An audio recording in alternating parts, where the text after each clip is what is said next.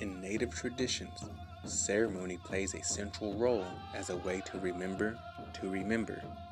Showing gratitude is a powerful remedy to overconsumption and greed. The earth is a gift that the Creator gave to us that comes with responsibilities. Ceremony helps people remember who they are and their role in the living world. There's a lot of ceremony involved with the natural world, and we've developed ceremonies by observing the natural world.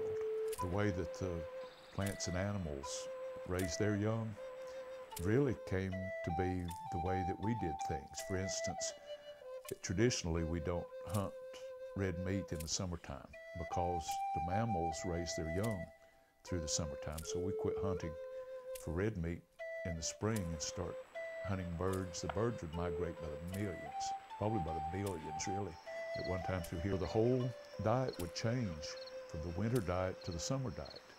And the winter diet consisted mostly of red meats and dried nuts and dried beans and, and stuff like that. We didn't have any calcium outside of the calcium we got out of the plants. And so those plants were the, in the springtime were the shot in the arm that, that our bodies needed because they'd done without that resource all winter. So those plants are giving back just like we give back to them by, by respecting and not over harvesting.